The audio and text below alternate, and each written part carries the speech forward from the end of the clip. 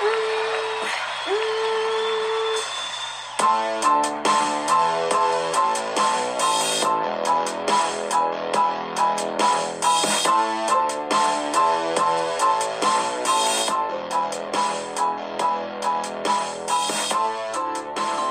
morning.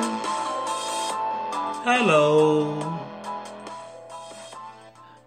My dogs are barking real loud added to the sound effects. Anyway, I found the poem, rewrote it, and I'm about to uh, uh, suck it to you. Okay, um, it's simple.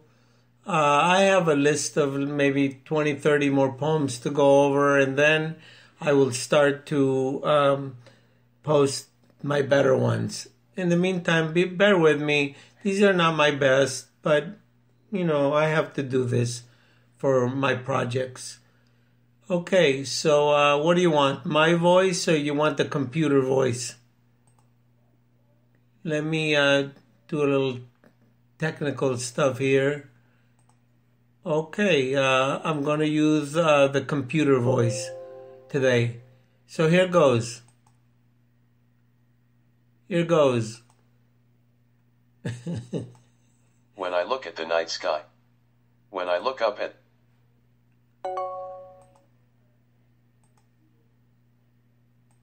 When I look at the night sky. When I look up at the night sky. I'm really trying to see the planet Mars. But all I see is all these stars. Sometimes Jupiter and beyond. You know each one of them is a person. Who once lived. And all we are left with is their simple memory. These persons you once knew. They most likely loved you. I bet you do not know. They are looking down on you. And keying an eye on you too. So when you are sitting on there on a lonely night there and contemplating. Look up and it will feel like you are sailing and also swaying. Through the clouds and up higher above. Say to yourself. It really is nice to be alive. I just hope you are ever so happy. With members of your family. And especially you mommy and also your daddy.